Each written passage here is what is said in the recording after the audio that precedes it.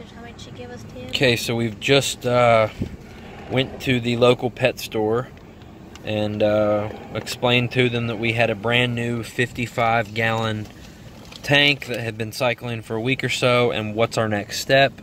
They were super helpful and basically told us that these tetras, I think they were called Serpae tetras, uh, produced a lot of waste and bacteria, so we needed to put about 10 of them in there for uh, about four weeks and then it would be ready for other fish. And they actually even told us that if we didn't want these fish, we could bring them back after the uh, four week period, but uh, we'll probably just keep them, right?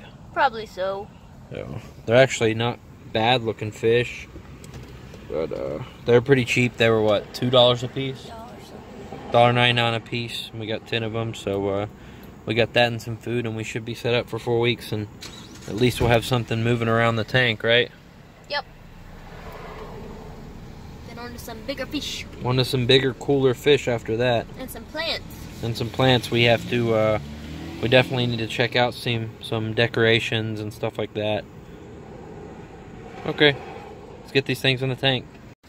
Released the monsters. See you in about 15 minutes.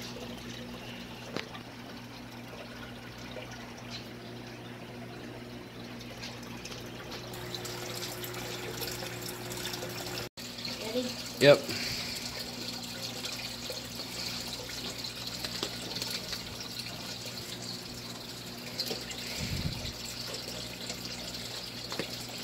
Jeez. All right.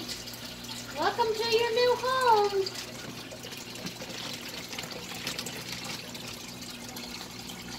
Ready?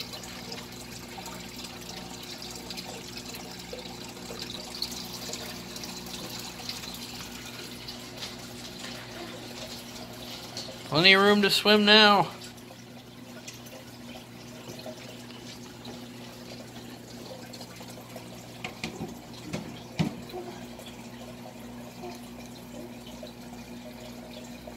They still school together.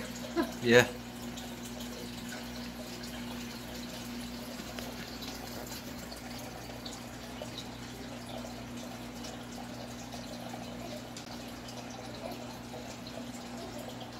Coming, bud. Maybe I'll check the fish out in a little bit.